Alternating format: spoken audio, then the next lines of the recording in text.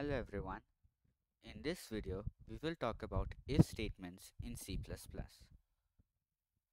So how do you make an if statement in C++? Well, it is not actually that different from Python. There are only some small differences. So to make an if statement, you still need to use the if keyword. But unlike in Python, where you just directly type the condition, you have to enter round brackets and inside those round brackets you have to keep your condition. And then outside instead of a colon you have to put curly brackets. And whatever you want the program to do if the condition is met should go inside the curly brackets. So let's first have an integer variable int a and let's set it equal to 5 and now inside the if statement, let's set the condition such that if a is equal to equal to 5 to do something. Now let's set it to print a is 5.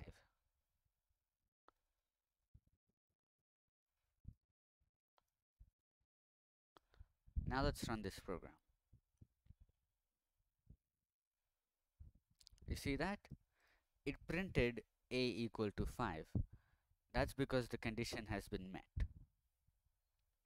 Let's make it print something slightly different.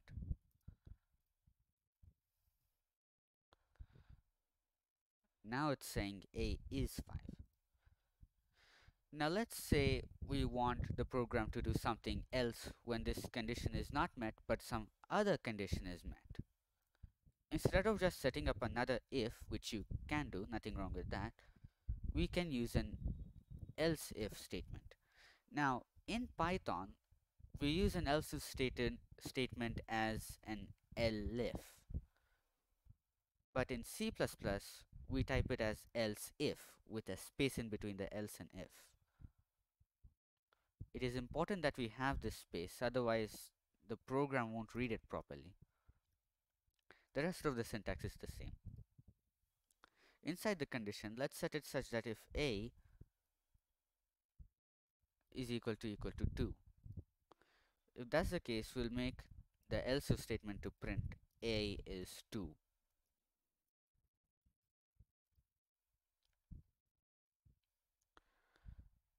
Now let's run the program. You can see that a is 5. That's because the first if statement has run. That's because the variable a is set to 5. Now let's change it to 2.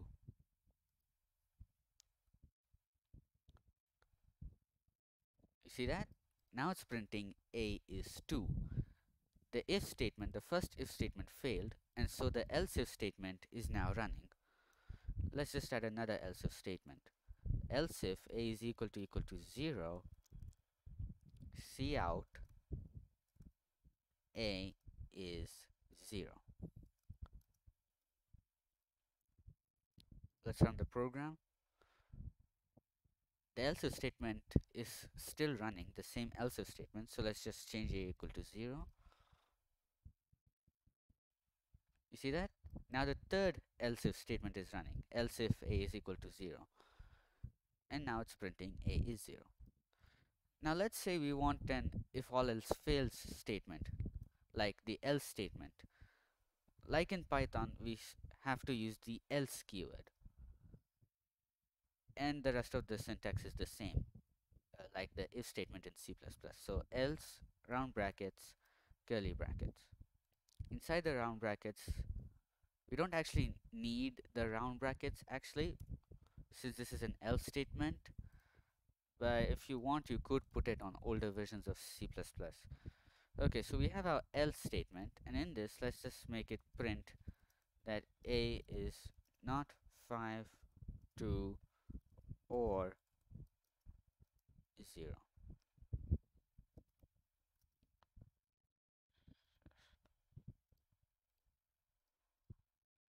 Let's run this.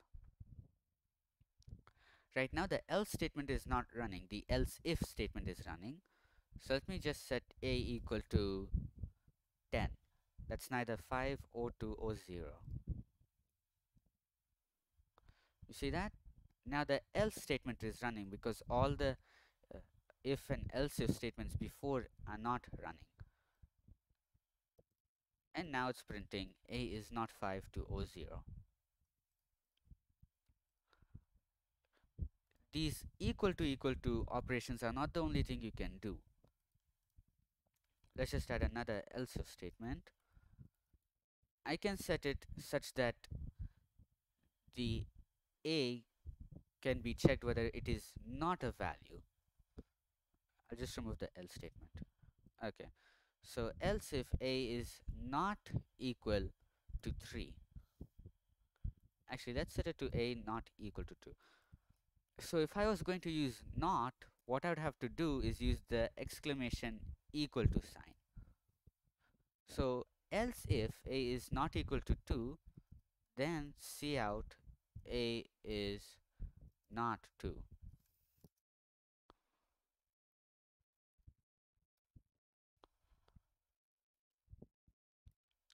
I'll just add another else if. If I want to check if a is greater than or less than some number, I can just use the greater than or less than symbols like how we do it in math. Like this one, else if a is greater than 10. I can also do a is less than 10 and I can also use greater than or equal to as well as less than or equal to. Note that if you're going to use those symbols the order of the equal sign matters. You have to put the equal sign after the angled bracket not before the angled bracket. So we actually have a, lot of symbols that we can use not only in C++ but basically any programming language. The equals to operator which uses double equal sign, not equals to which is made of an exclamation mark and equal sign, greater than, less than, greater than equal to, less than equal to, the not operator, the not operator can stand on its own, and we have some logical operators as well like the AND operator which is made of two ampersands and the OR operator made of two vertical bars. All of these operators combine to be used in logical statements in if statements and else if statements.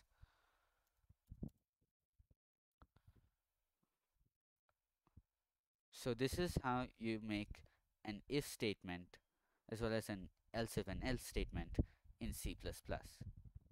So thank you for watching this video and I hope you enjoyed it. Thank you.